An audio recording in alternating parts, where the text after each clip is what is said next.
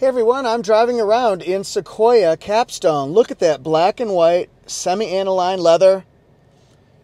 Beautiful open pore wood. You can see on that 14 inch screen, we've got the front facing camera. That'll be at low speeds. We've got drive modes, wireless charging, got the trailer backup guide here. Very cool stuff. And then we also have, whoop whoop, 12.3 inch digital screen. Got power folding mirrors, memory seats, power steering wheel, heated seats, cooled seats. How do you like it?